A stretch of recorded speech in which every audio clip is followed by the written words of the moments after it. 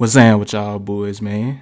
This is the Big Guard University bill. This is probably my second favorite bill behind Jamal with the 9. I can't lie to you. In these clips, I'm only at 86 overall, by the way. This build is not maxed out, but I had to get y'all some gameplay, you feel me? Comment down below an NBA player comparison for this build, just based off of these clips at the beginning. Who in the NBA would you compare this player to?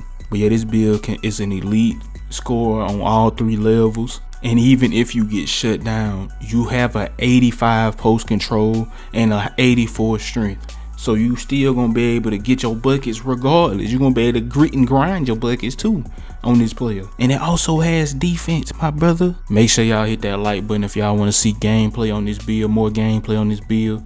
And yeah, let's get straight into it. Like I said, this is a big guard academy, big guard university build right here, man. You feel me? So I went six six. I I, I had been wanting to make another six six for the longest too. So I decided I'm gonna go make a big a big guard six six, and I also might make like a more so meta guard because the only other six six I got is my first guard build. And then I got the pure playmaker, but that's on a whole nother account that I can't even get access to right now. And as you can see, here go all the stats no dunk even though it's called a two-way slashing playmaker i don't put i didn't put no dunk on this player. Y'all know how i get down bro. This is a skill b. You can't just run to the goal and press square on this player you kind of can but you can't at the same time. You feel me? Post control. Now this build was inspired by Dimeworks uh bully guard build bully point build that he made but he his build like six eight or something like that. But look like i said this was inspired by his build but I had to put my own little twist on it, you feel me? Now, like I said, 6'6, 85 layup, 85 post control, 92 mid range. Get that Hall of Fame uh, mid magician. I could low key could have went to a 93 and got Hall of Fame catch and shoot, but I be I would I'm cool with having it go. You feel me? 77 3 now I could have went with a 78 or 80 or 85 83 I could have did that I wanted this name I wanted two-way slashing playmaker because I think if I go up it's gonna call me a two-way, three-level playmaker or something like that. And I mean that's cool, but I wanted a unique name that you really don't see like that. You feel me? So I went with the 77-3 instead of 78 or higher. 99 free throw, 92 ball handle with an 89 pass.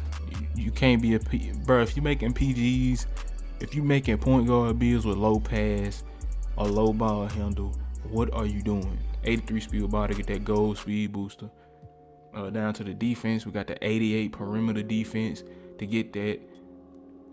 Well, it gets you a couple back. 88 gets you gold, 94 feet. 87 gets you gold challenger. And then I think 86 gets you gold workhorse and 85 gets you silver clamps. So, you know what I'm saying? You can choose between 88 and 85. I just went with 88. And then also once you get to 87, that's when it starts calling you a two-way. So if you don't want to be called a two-way, you can drop below 87, and it'll just call you a slashing playmaker. 72 steal. I don't really be spamming the steal but like that. I want to play real straight up defense on people.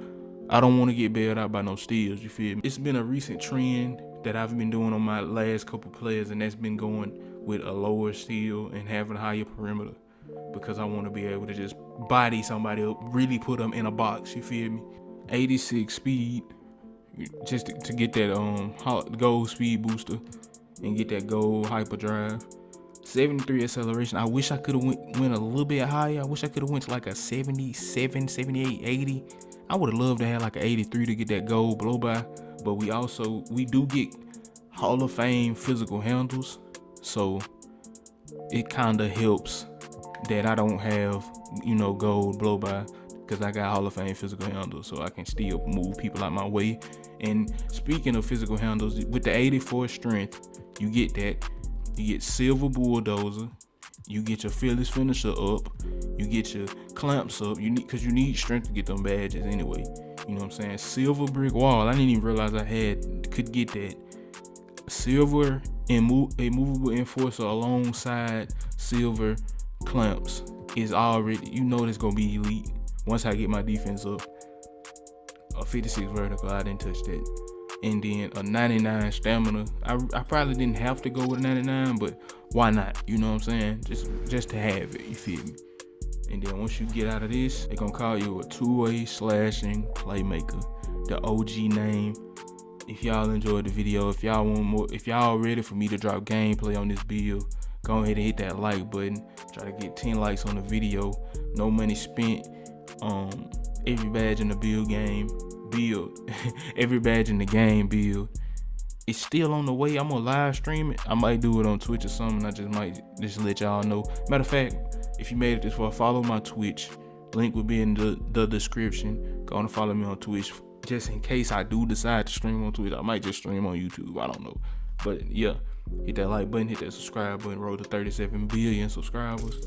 And I'll see y'all in the next one.